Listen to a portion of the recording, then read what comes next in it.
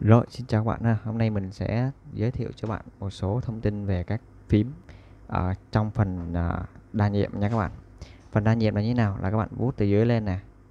Thì nó sẽ hiển thị ra các ứng dụng đa nhiệm, tức là ứng dụng đang chạy ngầm. Thì khi mà sử dụng á, nó sẽ có những cái thông tin sau. Các bạn muốn sử dụng thì các bạn giữ lâu vô đây.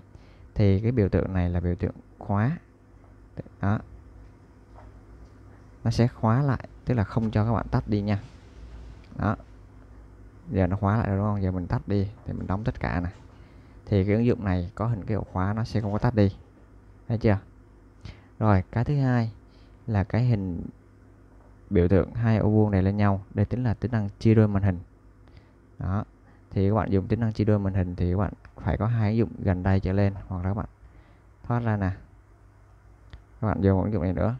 Thì đó, nó sẽ ra hai ứng dụng để các bạn sử dụng song song. Hai ứng dụng chia đôi màn hình còn không muốn dùng nữa thì các bạn vuốt xuống. Đây. Rồi. Cái thứ ba là các bạn giữ là dâu cái này.